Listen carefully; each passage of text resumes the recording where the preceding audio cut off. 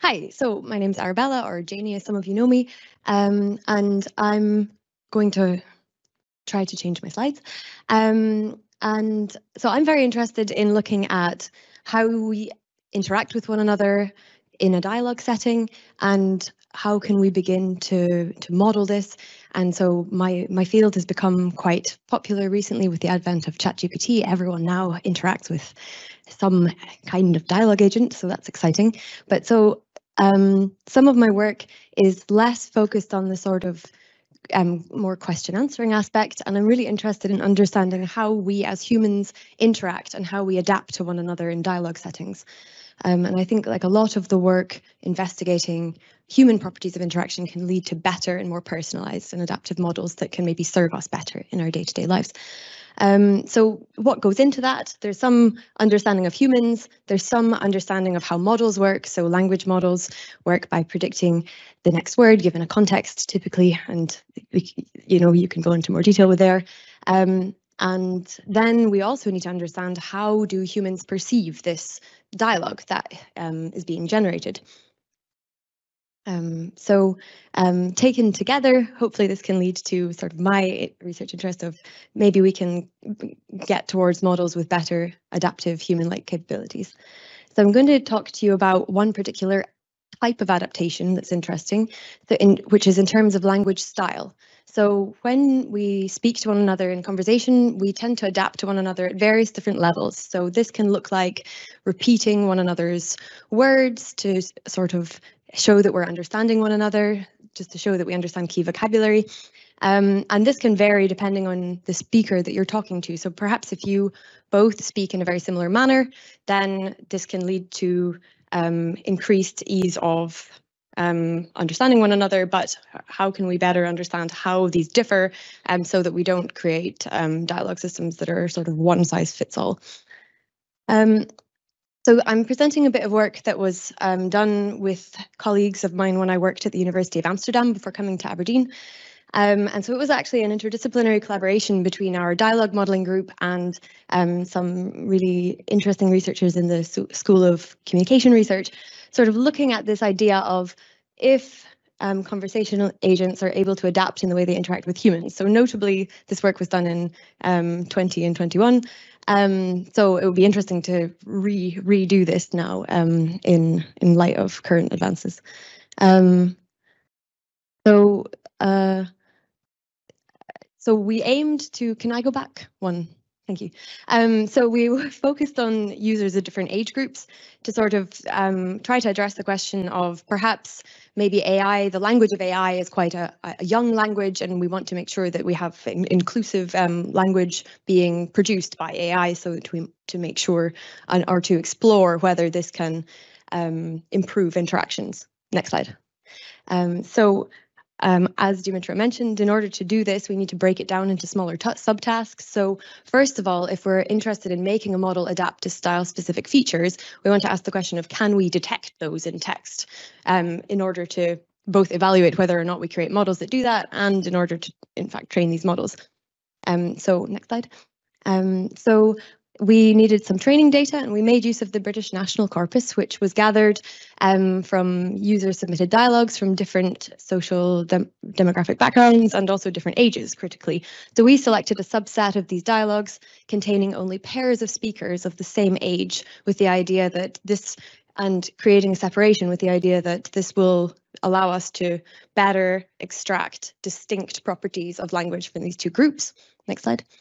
Mm.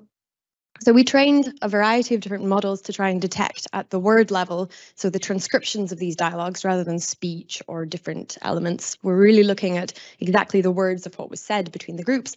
And we found that um, even relatively simple models, so the first row of the ones that say gram are the more simple models that are um, more based on count statistics, and then the LSTM and BERT are the more um, more recent BERT is a transformer model and ChatGPT is built on one of the more transformer type models. Um, so we found that actually even at the level of words um, that we, we see quite high performance here, um, even compared to the larger models, which gives us an idea that detecting age-related features is quite challenging um, and that there may be maybe parts of the language generated by these large language models that maybe aren't so age specific in the end. Next slide. Um, so we also then wanted to investigate where were these models wrong. So doing some analysis to understand, you know, what are the cases that are that are difficult. So first of all, it's worth pointing out that dialogue consists of small utterances that are quite short, and that's not a lot of signal for you to detect um, information from. And so maybe even humans might find it quite difficult to say, right, that's definitely someone that's over 50 that said this. Um, so we find that actually the models um, do struggle to predict the 50 plus age group more, which is a bit in keeping if you with this with an idea that if you think about the training data that the large models are maybe trained on on the internet, perhaps we have more, um, um, maybe more sort of um, a, maybe a younger demographic that participate in online forums, perhaps, um, but maybe not. Um, it's an open question. Uh, next slide. Um, so then we we did some analysis on what were the predictive features of these models, and that can allow us to get an idea about what different vocabulary different speakers uses use. And so in the psychology literature, sometimes it's been found that um, there are some key properties that do correlate with different age age groups in terms of the language they use. Maybe um, older speakers are more likely to be more polite or use more some more positive sentiment. Um, but um, maybe younger speakers are more likely to use um, some more um, expressive language. Um, and um, so we find this in our data as well. Um, and so then it uh, again raises the questions, you don't necessarily want your model to be generating inappropriate content when you're training it to generate more specifically to these different age groups. but that's, so we remove those from our training data. So then we tried to train a model. yeah, next slide, thank you.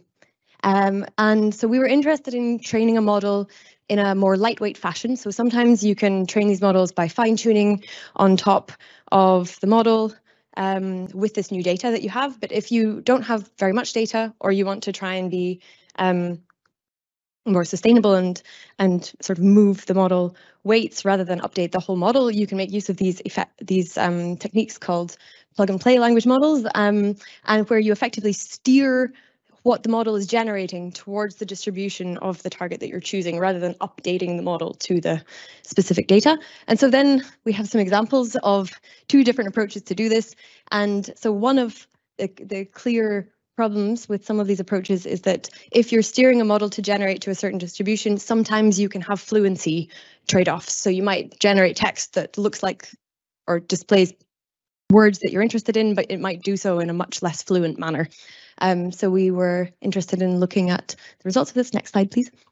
Um, so I've pulled up some examples of the types of language that the more adaptive model generated. And I should add that we were looking at um, three different topics that were quite equally represented in the in the data set we were looking at for the three groups.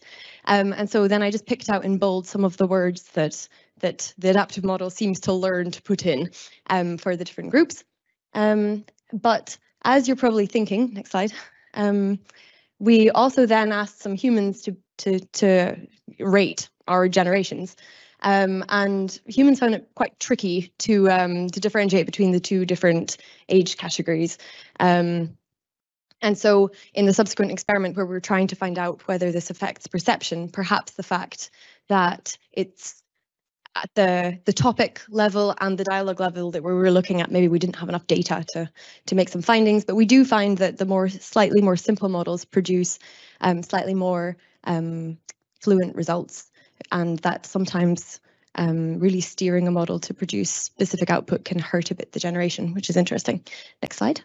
Um, so that was a whistle stop tour of a bit of research to sort of try to move towards the idea of generating getting to dialogue agents that can generate language in a more personalized or deliver content in a more personalized manner um, with specifically age in mind this time. But I'm really interested in looking at how adaptation varies across different types of speakers beyond that um, and conducting more and analyzing more human data to, to better understand how we, we can generate um, more appropriate text. Thank you very much for listening.